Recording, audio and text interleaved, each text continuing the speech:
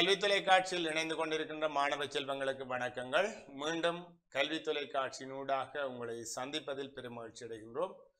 நாம் இன்றைய வகுப்பிலே பார்க்க இருப்பது தரம் நான்கு மாணவர்களுக்கான பகுதி ஒன்று தொடர்பான ஒரு மாதிரி வினாத்தாளை பார்க்க இருக்கின்றோம். தரம் நான்கிலே கேள்வி கேட்கின்ற தற்போது தரம் நான்கிலே கேள்வி கேட்கின்ற மாணவர்கள் அடுத்த வருடம் நீங்கள் புலமை பரிசில் பரீட்சைக்கு தோற்ற உள்ளதால் அது தொடர்பான மாதிரி வினாத்தாள்களை நீங்கள் தெரிந்திருக்க வேண்டும்.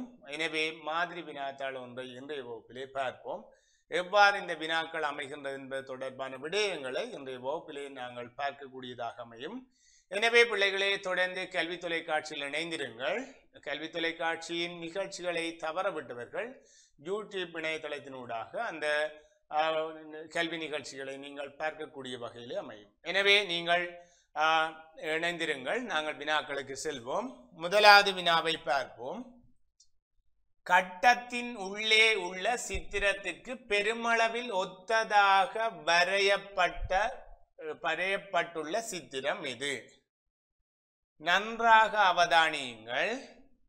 அதாவது இந்த கட்டம் இருக்குது. இதில் சைடில் கட்டம் இருக்குது. இந்த கட்டத்திற்கு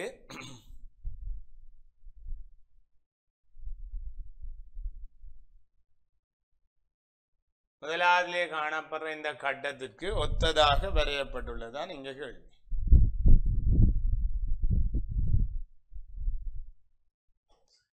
நீங்கள் அவதானிக்கலாம் சரியான முறையில் அவதானியுங்கள். அப்ப நீங்கள் அவதானிச்சிருப்பீர்கள் என்னென்று வருமென்றதை நீங்கள் அவதானிச்சிருப்பீர்கள் இனி பார்ப்போம் நன்றாக அவதானித்தீர்களா? சரி பார்ப்போம் இப்ப இந்த கட்டத்திலே வரக்கூடிய மாதிரி எந்த கட்டத்தில இருக்கிற மாதிரி அப்படியே எந்த எந்த கட்டத்தில இருக்குதோ அதுதான் இப்ப கேள்வி. எதுல அது அந்த மாதிரி. இப்ப பாருங்க கட்டத்தின் உள்ளே உள்ள சித்திரத்திற்கு பெருமளவில் ஒத்ததாக வரையப்பட்டுள்ள சித்திரம். இப்ப முதல்ல பிழைகளை கண்டுபிடிப்போம். பிழை அல்லது ஒரு பக்கம் பக்கமே பார்த்துட்டு போவோம். வடிவ நுட்பமே பார்க்க வேணும். நுட்பமே பார்த்தோம்னா நாங்க பிடிக்கக்கூடிய வகையில இருக்கு. சரி பாப்போம் சரி இனி நாங்கள் பார்ப்போம்.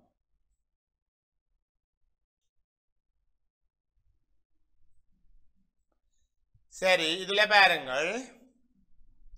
இதுல பார்த்தோம்னா கீழ்ப்பகுதியை பார்ப்போம். முதலாவது கீழ்ப்பகுதியை எடுத்து பார்ப்போம். கீழ்ப்பகுதியில இது சரியே இருக்குது இது சரியே இருக்கு எல்லாமே சரியே இருக்கு. இதுவும் சரியே இருக்கு இதுவும் சரியே இருக்கு இதுவும் சரி சரி அடுத்த பார்ப்போம். அடுத்தடுத்து பார்ப்போம் அடுத்த பகுதியை. அடுத்த பகுதியில் பார்த்தோம் என்றால் இந்த பகுதியை பார்ப்போம். இந்த பகுதி இந்த பகுதியில் எத்தனை டோட்ஸ் இருக்குன்னு பார்ப்போம். ஒன்று ரெண்டு மூன்று நாலு அஞ்சு ஆறு.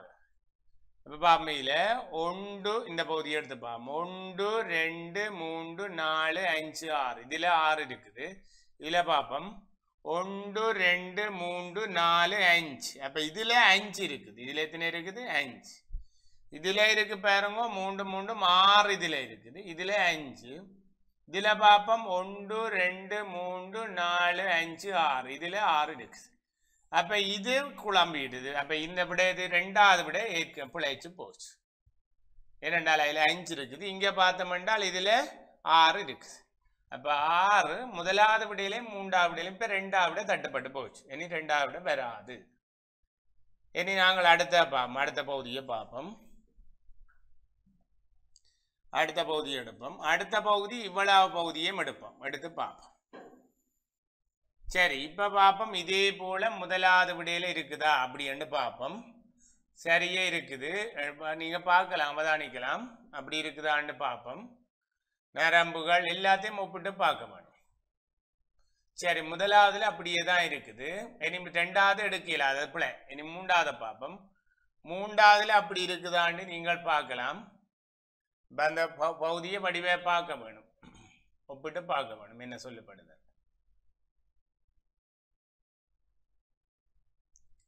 ஏதாவது ஒரு இடத்துல வேறுபாடு இருக்கும். சரி அப்போ நாங்கள் இதுக்குள்ள வேறுபாடை கண்டுபிடிக்கலாட்டி நாங்கள் அடுத்தக்கு போகலாம். இதில் பார்த்தோம் என்றால் இதுக்குள்ள வேறுபாடு இருக்குது.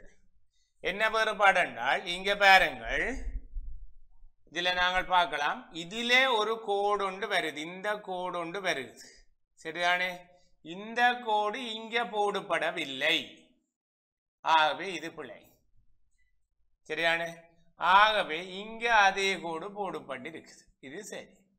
சரியான அப்ப இது இங்க வெட்டப்பட்டு போச்சு. ஆகவே சரியான விடை மூன்றாவது அங்கால போக தேவையில்லை என்றால் வேறுபாடு இங்கே வச்சு பிடிச்சிட்டான் அப்ப இங்க இது வேறுபாடு புள்ளி அடிப்படையில இது இது பிழைச்சது புள்ளியில இதுல அஞ்சு இருக்குது இங்க ஆறு இருக்குது. அதனால அது பிழை. ரெண்டாவது பிழை இதுல பார்த்தோம்னால் இந்த கோடு இங்கே கோடு இங்கே இல்ல அங்கால இருக்குது. ஆவே இதுல இது பிழைச்சி போச்சு. இந்த கோடு அடிப்படையில். ஆவேதான் மூன்று அப்படி உன்னிப்ப சரியான முறையில் அவதானிக்க வேணும். அவதானிச்சா தான் இதுன்ற விட வரும். சரியா? ஆவே சரியான விடை மூன்றாவதாக அமையும். சரியான பிள்ளைகளே கவனியுங்கள் பிள்ளைகளே. இந்த மாதிரியான உருக்கள் வரும்போது நீங்கள் பார்க்க வேண்டிய விடயம் என்னென்றால் ஒவ்வொரு சிறிய சிறிய விடயமாக பார்க்க வேண்டும் சரியான நுட்பமே தான் தருவாங்க இப்போ சரியான நுட்பம் என்ன பகுதி பகுதி. இப்போ நான் பா பார்த்தனே பகுதி பகுதியை பிரித்து பார்த்தேன். ஒவ்வொரு ஒரு துண்டு துண்டே பார்க்க வேணும். இப்போ உருவண்டா அந்த உருவண்ட ஒவ்வொரு ஒரு பகுதியை டிக் பண்ணி கொண்டு போகிறது முதலாவது பகுதி சரியா எல்லாத்திலும் இருக்குதா? ரெண்டாவது பகுதி எல்லாத்திலும் இருக்குதா? மூன்றாவது பகுதியை பிரித்து அந்த துண்டு பகுதியில் எல்லாம் இருக்குதா? ரெண்டு சரியான முறையில் பார்த்தோம்னா அங்கே சரியே இப்படி தான் இது கண்டுபிடிக்கிறது. சரி நாங்கள் அடுத்த ரெண்டாவது வினாவை பார்ப்போம். இரண்டாவது வினாவில் என்ன சொல்லப்படுதுன்னு பார்ப்போம். இரண்டாவது வினாவை பாருங்கள். உரு ஏஐ ஒத்த ஓர் உருவை பெறுவதற்காக உரு பியில் செய்ய வேண்டிய மாற்றங்களின் எண்ணிக்கை எத்தனை என்று இருக்குது அப்ப உரு பியில எத்தனை மாற்றங்களை செய்ய வேணுமென்றால் ரெண்டிலையும் எத்தனை வேறுபாடு இருக்குன்றது அதன் அர்த்தம். ரெண்டிலையும் எத்தனை வேறுபாடு இருக்குன்னு நாங்க பார்க்க வேணும். பார்த்தோம்னா இந்த கேள்விக்கான விடை சரியாக அமையும். இதுக்கும் அதே போலதான் பார்க்க வேணும். ஒவ்வொரு பகுதியாக நாங்கள் பார்க்க வேணும். பார்ப்போமா? முதல் தலைப்பகுதி அப்படி எடுத்து பார்ப்போம். தலைப்பகுதி அப்படி எடுத்து பார்ப்போம். ஏதாவது வேறுபாடு இருக்கா? அப்படின்னு பார்க்கலாம். சரி பார்ப்போம். மேலே பார்த்தோம்னா மேலே எல்லாமே சரியாக இருக்குது இந்த பகுதிக்குள்ள எல்லாம் சரியே இருக்கு. இந்த கோட்டு பகுதி எடுத்தோம்னா இந்த கோடு இங்கே சரி இங்கே சரி. சரி அடுத்த பார்ப்போம். இங்கே இந்த சைட் பகுதி இந்த நெத்தி பகுதி இப்படியே பார்த்தோம்னா சரியே இருக்குது சரியே இருக்கு சரியே இருக்கு சரி. இந்த பகுதி கோடுகளும் சரி. இப்போ அடுத்த இந்த சைட் கோட்டை பார்ப்போம். சைட் கோடும் எல்லாம் சரியே இருக்குது அடுத்த பார்ப்போம் இனி கண் பார்ப்போம் கண்ணில பார்த்தோம் என்றால் முதலாவது இந்த கண் சரி அந்த கண் சரி. அடுத்தல பார்ப்போம் அடுத்ததும் அதே போல சரியே தான் இருக்குது. எந்த வேறுபாடும் இல்லை. வாய் பகுதியை பார்ப்போம் அதுவும் சரி. சரி இப்ப நீ அடுத்த கட்டம் போவோம். அடுத்த கட்டம் கைப்பகுதி எடுப்போம். இப்ப கைப்பகுதியை எடுக்க போறோம். இனி அடுத்த துண்டு துண்டு ஒரு ஒரு பகுதியை பார்ப்போம் இந்த சை அதாவது சரி இந்த மொத்த வேறுபாடு விளாத்தையும் பார்க்க போறோம். விளாத்தையும் பார்ப்போம். விளாத்தையும் பார்த்தோம் என்றால் இதுல கையை பார்ப்போம். கை சரியே இருக்குது. இங்கேயும் சரியே இருக்கு. நாலு விரல் அங்கேயும் அதே போல அஞ்சு விரல் அது அப்படியே இருக்கு. சரி கீழே கோட்டை பார்ப்போம். இதுவும் சரியே இருக்கு. அப்ப இது சரியே இருக்கு இது சரியே இருக்கு. கோடும் சரியே இருக்கு. அடுத்த படம் சரி. சரி கீழே வந்தோம்னா அப்படியே இந்த படம் சரி. ஆனால் ஒரு இடத்துல வேறுபாடு வந்துட்டுது. இங்க பார்த்தோம்னால் இது இருக்குது. இந்த கோடு இருக்குது. இங்க அந்த கோடு இல்லை.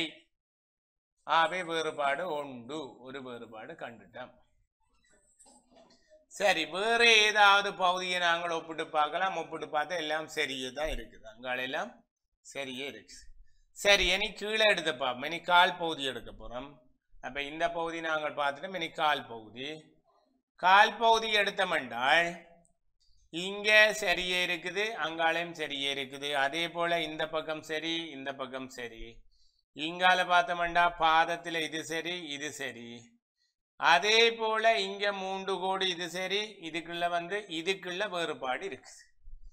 என்ன வேறுபாடு என்றால் இந்த தொகுதிக்கு பார்த்தோம்னால் இந்த தொகுதியில் இது இது சரியே இருக்கு. இந்த இந்த சப்பாத்து ஃபுல்லே சரி. இதுவும் இதுவும் சரி.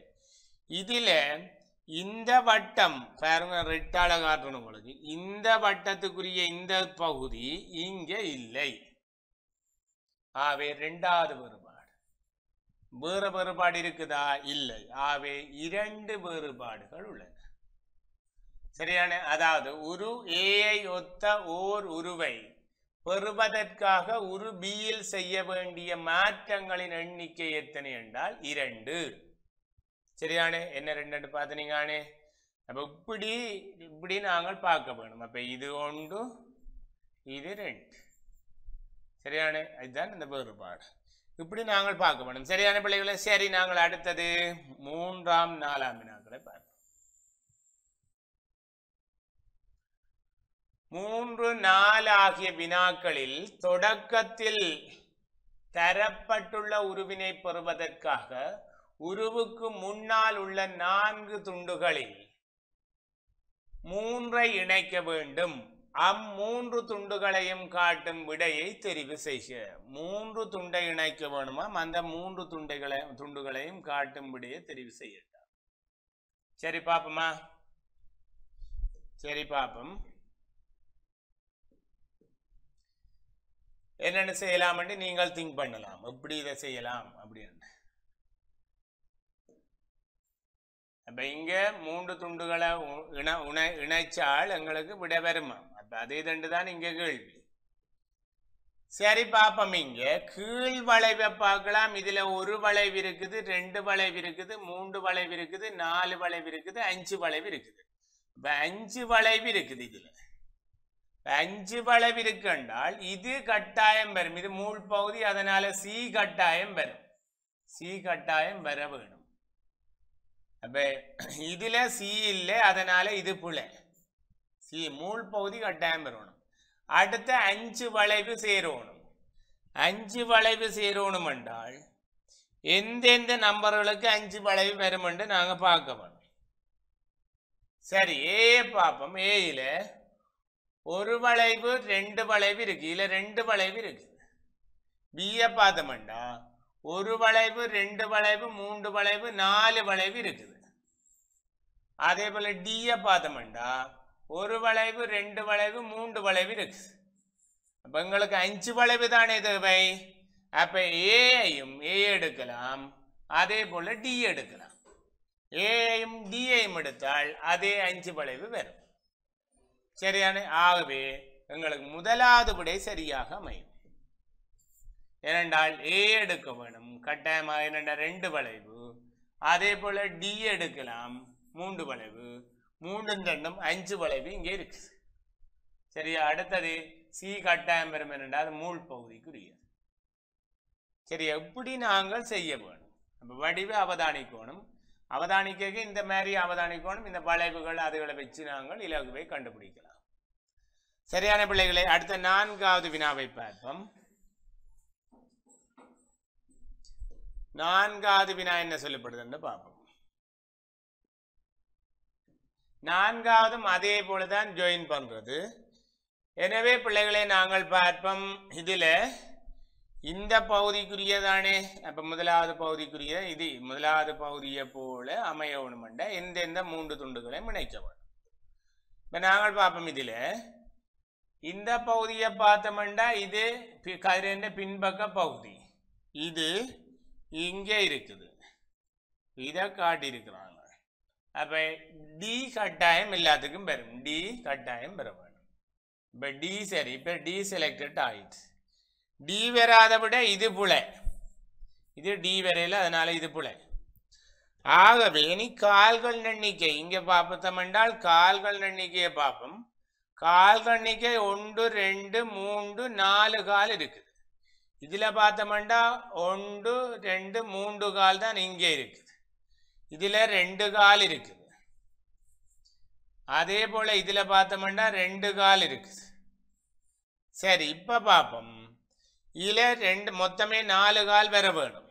இதில் வர வேண்டியது நாலு கால். இப்போ நாலு கால் வரணுமெண்டா எந்த விடைக்கு அது சரியே வருமென்று பார்க்க போகணும் இதுல நாலு கால் வரணும். இதில் மூன்று ரெண்டு அஞ்சு. அப்போ இது வராது. மூன்றோட ரெண்டு ரெண்டு சேராது. ஆவே எது வரும்? பியும் சியும் வர வேணும்.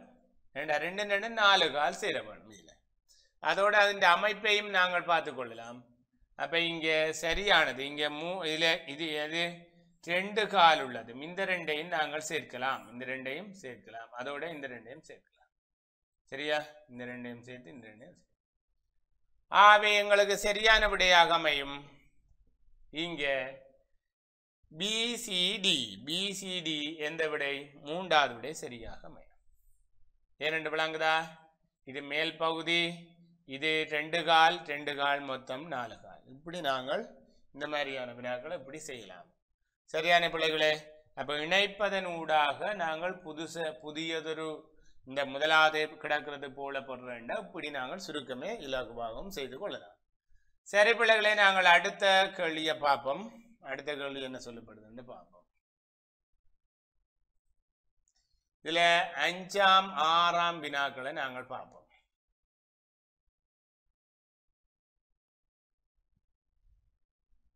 சரி அஞ்சாம் ஆறாம் வினாக்கள் தொடர்பு பார்ப்போம்.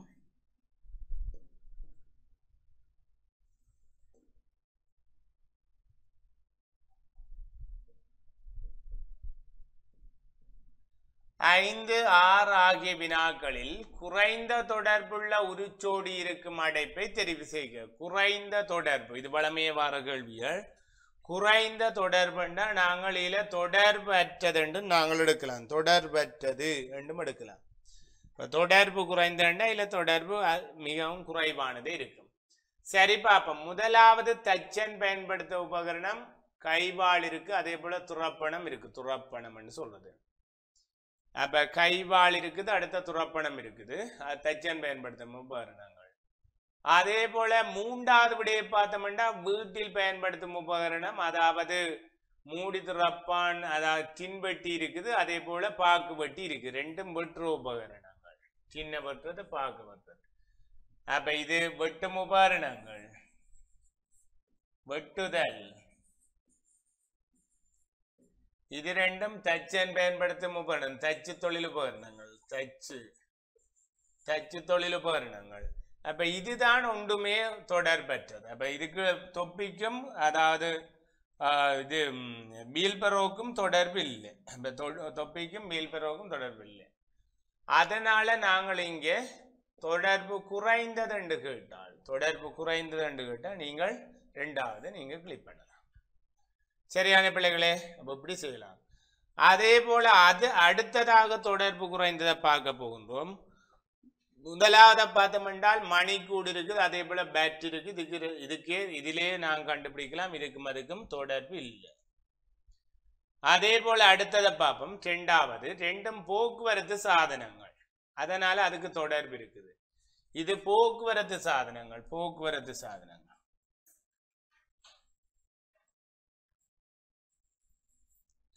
இது போக்குவரத்து சாதனங்கள். இதை பார்த்தமென்றால் இது இசைக்கருவிகள். இசைக்கருவிகள். இது இசைக்கருவிகள். ஆகவே தொடர்பற்றது இல்ல தொடர்பு குறைந்தது இது. ரெண்டு அப்ப இதுக்கு ஒற்றுமை இருக்குது. போக்குவரத்து சாதனங்களுக்குள்ள தொடர்பு இருக்கு ஒன்றோடு ஒன்று. அதே போல இசைக்கருவிகளுக்குள்ள இருக்கு ஆனால் இதுக்கு இல்லை. அப்போ வேறுபட்ட ஒரு ஒத்த உருக்களுக்கு நாங்கள் இப்படி நாங்கள் ஒத்த உருக்கள் அதே போல தொடர்பு குறைந்தவர்களுக்கு இப்படி நாங்கள் இலகுவை கண்டுபிடிக்கலாம். சரி பிள்ளைகளை நாங்கள் அடுத்த வினாவை பார்ப்போம். ஏழாவது வினாவை பாருங்கள். ஏழாவது வினாவை பாருங்கள். உருவில் வெற்றிடத்துக்கு பொருத்தமான பகுதியை தெரிவு செய்கின்ற இருக்குது அதனால நாங்கள் இதுக்கு என்ன செய்யலாம் நீங்க திங்க் பண்ணலாம் என்ன செய்யலாம் எப்பவும் வினாத்தாள் உண்ட எதால செய்வோம்? பென்சிலால செய்வோம்.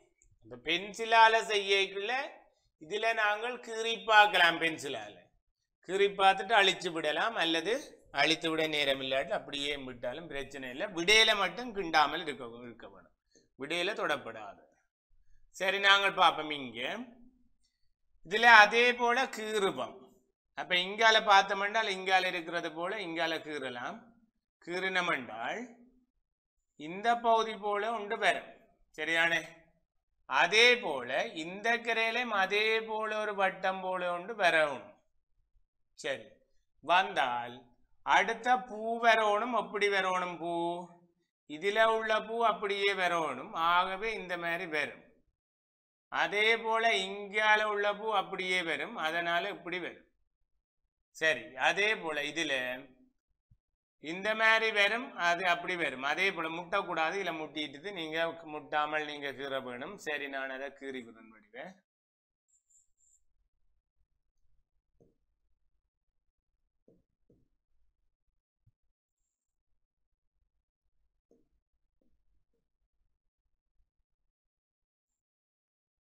சரியான இப்படி வரணும். அதே போல இங்கால பார்த்தோம்னால் அடுத்த பூவும் என்னொண்டு வரணும்.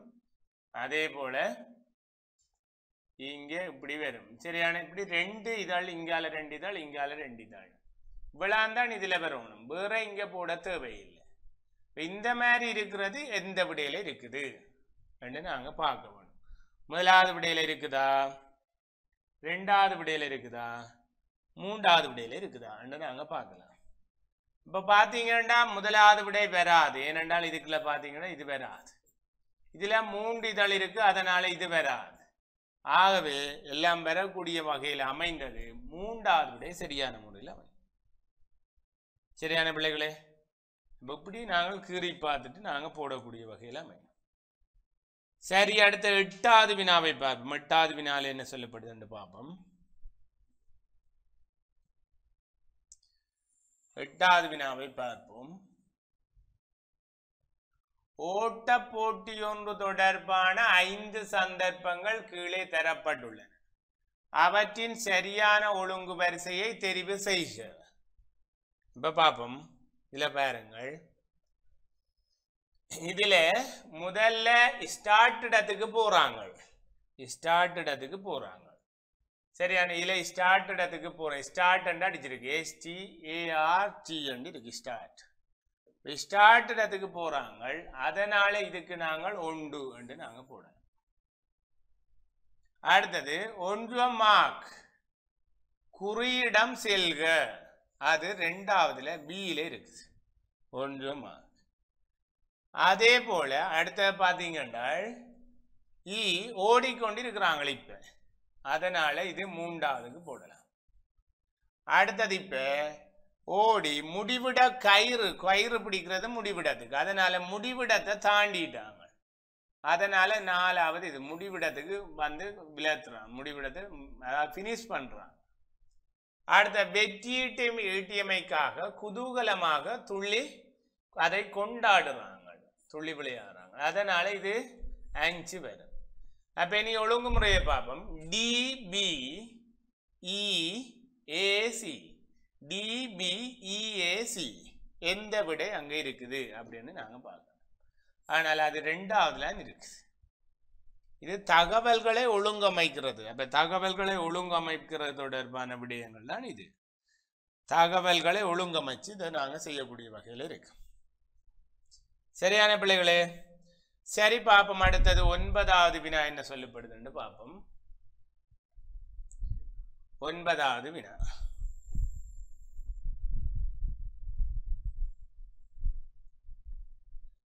தரப்பட்டுள்ள கவிதையின் வரிகள் ஒழுங்கின்றி எழுதப்பட்டுள்ளன. அதன் சரியான ஒழுங்கு முறையை தெரிவு செய்து கொண்டிருக்குது அப்ப இதுல பாருங்கள் பள்ளிக்கூடம் செல்லுவர் சின்னஞ்சிறு பிள்ளைகள் பாடம் பல பயிலுவர் சிரித்து பேசி கைகோர்த்து. அப்ப இங்க முடிவிடத்துல சிரித்து பேசி கைகோர்த்து என்று வராது. அதனால ரெண்டாவது விட புல. அதே அப்ப இதுல இப்படியே நாங்கள் பார்க்கலாம். சிலதுகளை இதிலே வச்சு பார்க்கலாம். அப்ப பயிலுவர் செல்லுவர் வரலாம். ஆனா அதிலே வடிவா பார்க்கணும் இது வரணும்னு நாங்கள் பார்க்கணும். அப்ப கே பாப்பம் சின்னஞ்சிறு பிள்ளைகள். முதலாவது யாரது சின்னஞ்சிறு பிள்ளைகள். அதனால சின்னஞ்சிறு பிள்ளைகளுக்கு நாங்கள் உண்டு சின்னஞ்சிறு பிள்ளைகள். அதே போல சிரித்து பேசி கைகோர்த்து சிரித்து பேசி கைகோர்த்து அடுத்தது எல் பாடம் பல பயிலுவர் பள்ளிக்கூடம் செல்லுவர். அப்போ இதில் பார்ப்போம் இதில்.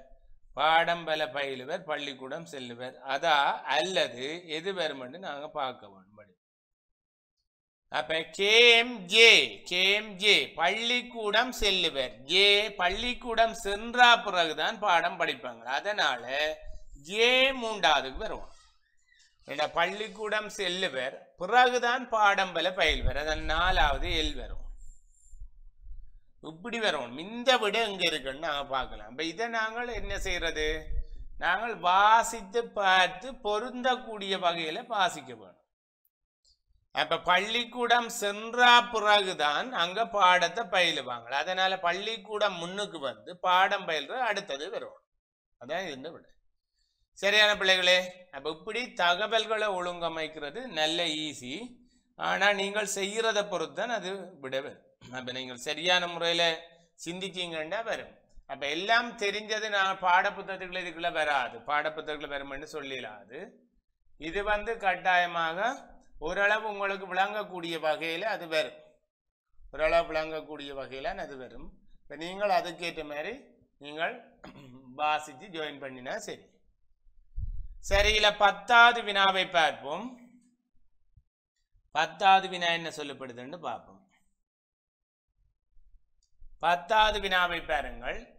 தராசு தட்டுக்களில் வைக்கப்பட்டுள்ள பொருட்களின் நிறைகளை அவதானித்து பத்து பதினொன்று ஆகிய வினாக்களுக்கு விடை தருகின்ற இருக்குது அப்ப இதுல அளவுகளும் போட்டிருக்கு எத்தனை கிலோகிராம் அளவுகளும் போட்டிருக்குது. அப்ப நீங்கள் அந்த அளவுகளை பார்த்து கூட சரியான முறையில நீங்க எடுத்துக்கொள்ளலாம். சரி பார்ப்போம் இங்க. இது பன்னெண்டு கிலோகிராம் காட்டுது இது பதினஞ்சு கிலோகிராம் காட்டுது இது போடப்படவில்லை. இப்ப கேள்வி சீத்தராசில் வைக்கப்பட்டுள்ள பொருளின் நிறையாது இதன் தொடர்ச்சியாக பன்ன- இந்த கருப்பு வட்டத்தின் விடையாதான் ரெண்டு கேள்வி இலக்கட்டிற்கு ரெண்டையும் பார்ப்போம். சரி இங்க பார்ப்போம். இதில் பாருங்கள் பதினஞ்சு கிலோகிராம் பன்னெண்டு கிலோகிராம் ரெண்டு இருக்குது. இப்போ இதில் பாருங்கள் இதில் கருப்பு வட்டம் இருக்குது. அதே போல் இங்கால கருப்பு வட்டம் ரெண்டு சதுரம் ஒன்று. அப்ப இங்க மேலதிகமே என்ன வந்திருக்குன்னு நாங்க பார்க்கலாம்.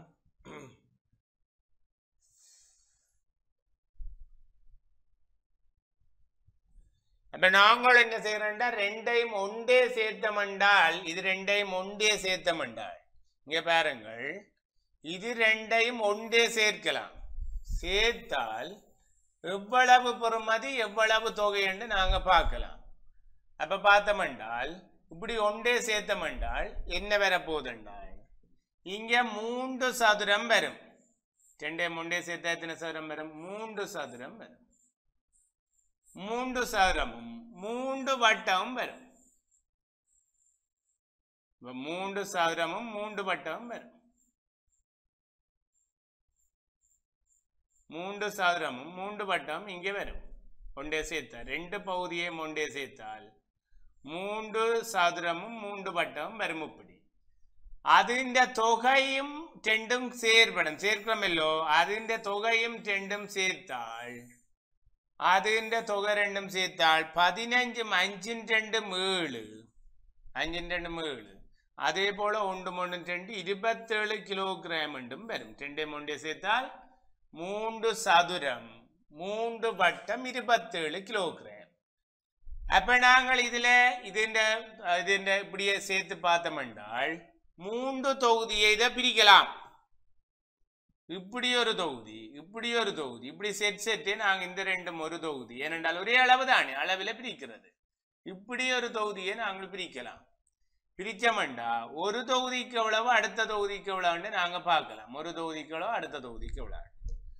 அப்படி பார்த்தோமென்றால் ஒரு இருபத்தி ஏழு பிறகு என்ன செய்யறது மூண்டாள பிரிக்கிறது மூண்டாள் மூ ஒன்பது இருபத்தி ஏழு ஆகவே ஒரு தொகுதிக்கு ஒன்பது அடுத்த தொகுதிக்கு ஒன்பது அடுத்த தொகுதிக்கு ஒன்பதுன்னு போடலாம் இங்க கேள்வி ஒரு கருப்பு வட்டம் ஒரு சதுரம் ஆகவே இங்க ஒன்பது கேஜி இப்படி நாங்கள் எடுக்கலாம் விளங்குதா அப்போ செட் செட் ஆகுறது. இது மொத்தத்தை பெண் செட் ஆகுறது?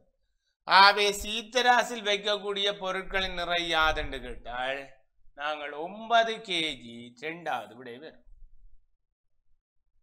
சரியானே ஏனென்றால் மூன்று சதுரம் மூன்று வட்டத்தின் விட இருபத்தேழு கிலோகிராம் ஏனென்றால் ரெண்டையும் கூட்டினா இருபத்தேழு கிலோகிராம் அதனால நாங்கள் அப்படியே செட் பண்ணி நாங்கள் செய்யக்கூடிய வகையில் அமையும். சரியா இப்படித்தான் இதுகளுக்கான விடையை நாங்கள் உடைக்கிறது. சரியா பிள்ளைகளே நாங்கள் அடுத்தது இதுன்ற பெருமானம் என்னென்று கேட்டிருக்குது. அதுன்ற பெருமானத்துக்கு நாங்கள் என்னது அடுத்து இது இந்த மாதிரி செய்யலாம். ஒன்பது கிலோகிராம் என்று போடலாம். அடுத்தது இதுக்கு நாங்கள் என்ன என்றால் விடையில இருந்து போகலாம். தரப்பட்ட விடையில இருந்து பதினோராவது கிளிக்கு போறேன்னு பாருங்க. பதினோராவது கிளிக்கு எப்படி நான் இப்போ முதல் அப்போ ஒவ்வொரு விடையும் நாங்கள் பார்த்து பார்த்து போனோம்னா எங்களுக்கு தெரியும். முதலாவது விடையை போட்டு பாவம். ஆறு கிலோகிராம் என்றால் நாங்கள் ஆறு கிலோகிராம் அதுக்கு போடுவோம். ஆறு இதுக்கு ஆறு என்றால் ஆறு ஆறு ஆறு ஆறு. சரி இப்போ ஆறு போட்டோம் என்றால் இங்கே பார்த்தோம் என்றால் பன்னெண்டில் ஆறு போனால் மிச்சம் ஆறு இருக்குது. ஆவே சதுரத்துக்கு மூன்று இதுக்கு மூன்று போடுவோம். ரெண்டு இரண்டா ஒரே மாதிரியானவர்களுக்கு மூன்று. இங்கே உள்ள சதுரத்துக்கு மூன்று இப்போ கூட்டும் ஆறு மாறும் பன்னெண்டு மூன்றும் பதினஞ்சு சரி. ஆறு மூண்டும் ஒன்பது மூண்டும் பன்னெண்டு சரி இங்கே ஆகவே இதுக்கு மூன்று ஆறு மூண்டும் ஒன்பது கேஜி நாங்கள் ஏற்கனவே கண்டது வருது ஆகவே இதுக்கான விடை முதலாவது விடை இங்கே சரியா அமையும் இது ஆறு கேஜி தான் முதலாவது விடை அதனால் முதலாவது விடையே இங்கே சரியே வருது சரியா பிள்ளைகளே அப்போ இதுக்கு இந்த மாதிரி ஒன்பது கேஜி இதுக்கு ஆறு கேஜி சரியா பிள்ளைகளே சரி பிள்ளைகளே கவனியுங்கள். நாங்கள் இதுவரை நாங்கள் இந்த பை மாதிரி வினாத்தாளிலே பதினோரு வினாக்களை பார்த்திருந்தோம். நாங்கள் இந்த வினாக்களை ஒவ்வொன்றும் பார்க்கும்போது மிகவும் மெதுவாகத்தான் பார்க்க வேண்டும் என்றால் இங்கே சரியான முறையில் கொஞ்சம் கடினமான வினாக்களை தெரிவு செய்துள்ளேன். எனவே சரியான முறையில் நான் உங்களுக்கு குறிப்பிட வேண்டும். அதனால் இன்றை இந்த வகுப்பிலே நாங்கள் பதினோரு வினாக்களை பார்த்திருந்தோம். மிகுதியான வினாக்களை தொடர்ந்து வருகின்ற வகுப்பிலே பார்ப்போம் பிள்ளைகளே. எனவே தொடர்ந்து கல்வி தொலைக்காட்சியில் இணைந்திருங்கள். நாங்கள் தொடர்ந்து மீண்டும் அடுத்த வகுப்பிலே உங்களுக்கு மிகுதி வினாக்களை தந்து கொண்டு த- தருவோம் என்று கூறிக்கொண்டு விடைபெறுகின்றேன். நன்றி வணக்கம். கல்வி டிவியில் புத்தம்புது நிகழ்ச்சிகளை உடனுக்குடன் பார்த்து மகிழ எமது ஃபேஸ்புக் மற்றும் யூடியூப் பக்கத்தை லைக் செய்யுங்கள்.